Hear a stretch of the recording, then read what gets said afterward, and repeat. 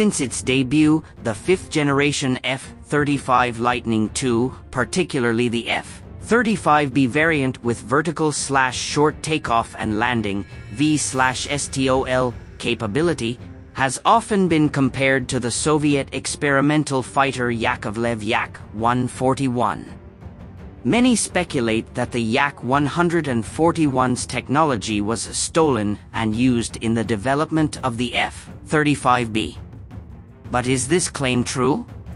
Let's take a deeper look.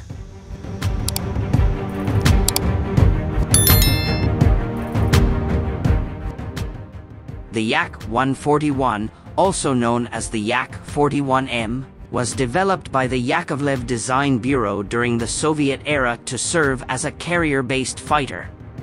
It was designed to take off and land vertically, a crucial feature for operations on small Soviet aircraft carriers. This aircraft featured a thrust vectoring nozzle on its R-79V-300 main engine, along with two additional lift engines in the front to assist with vertical takeoff. This design made the Yak-141 a unique VTOL, vertical takeoff and landing, aircraft for its time. However, after the collapse of the Soviet Union, the project faced major funding shortages and was ultimately cancelled in 1991. Only a few prototypes managed to fly before the program was terminated.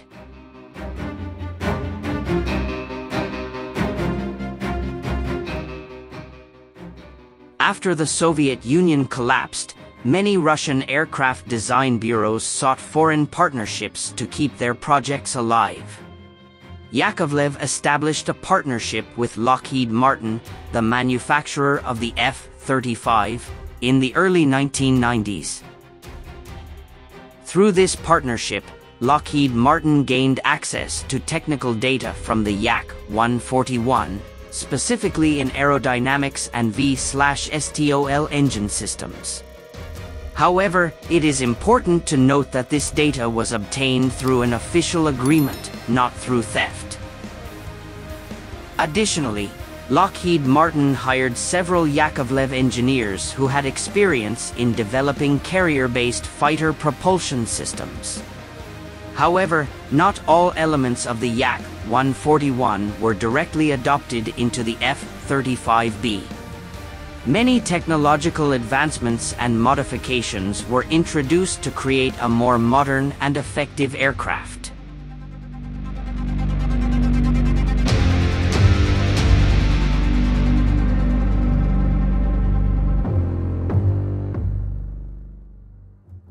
Many people compare the Yak-141 design with the F-35B, especially regarding the vertical propulsion system. Here are some similarities between the USSR Yak-141 and the United States F-35B. The first similarity between the Yak-141 and the F-35B is the thrust propulsion nozzle the Yak-141 and the F-35B use a rotating rear nozzle to direct thrust downward for vertical takeoff and landing.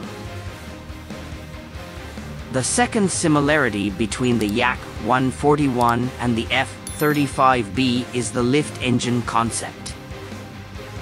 The Yak-141 uses two small lift engines at the front, while the F-35B uses the Rolls-Royce lift fan, which has a similar function.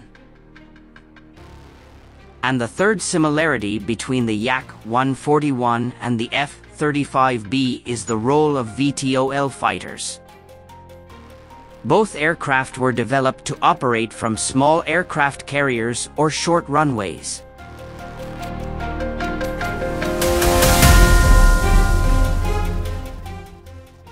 Despite having a similar concept, the F-35B is much more advanced than the Yak-141. Here are some of the main differences between the Yak-141 and the F-35B.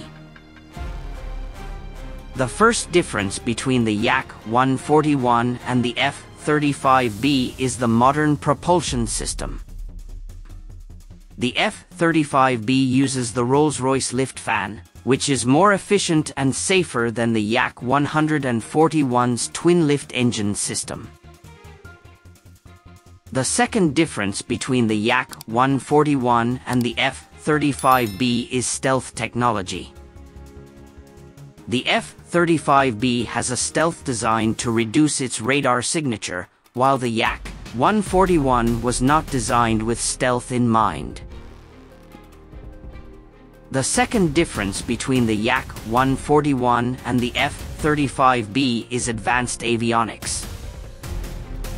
The F-35B is equipped with advanced sensors, AESA radar, and advanced communication systems, making it much more modern than the Yak 141. The third difference between the Yak 141 and the F-35B is overall performance. The F-35B excels in range, endurance, and weapons integration, making it far more effective in modern warfare. And the fourth difference between the Yak 141 and the F-35B is materials and manufacturing technology. The F-35B is made using advanced composite materials to increase endurance and reduce weight, while the Yak 141 uses conventional Soviet-era materials.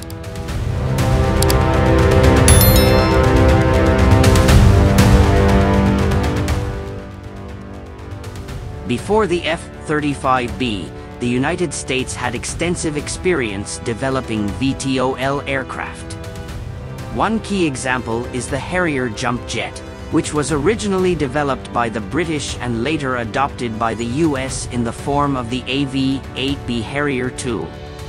The Harrier used a different thrust vectoring system from the Yak 141 but provided the US with valuable experience in operating carrier-based VTOL fighters. With knowledge from the Harrier and technical insights from the Yak 141, Lockheed Martin was able to design a more advanced V-STOL system for the F-35B.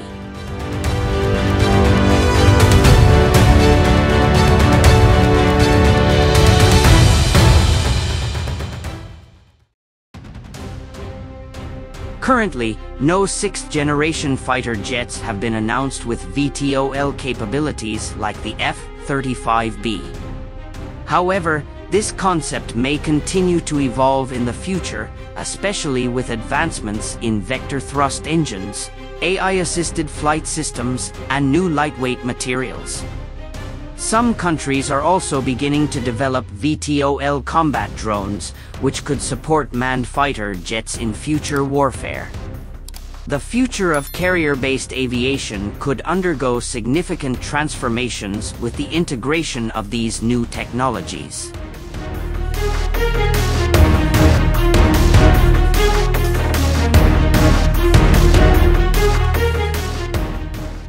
What do you think? Did the F-35B truly adopt Yak 141 technology, or is this just a conspiracy theory? Share your thoughts in the comments.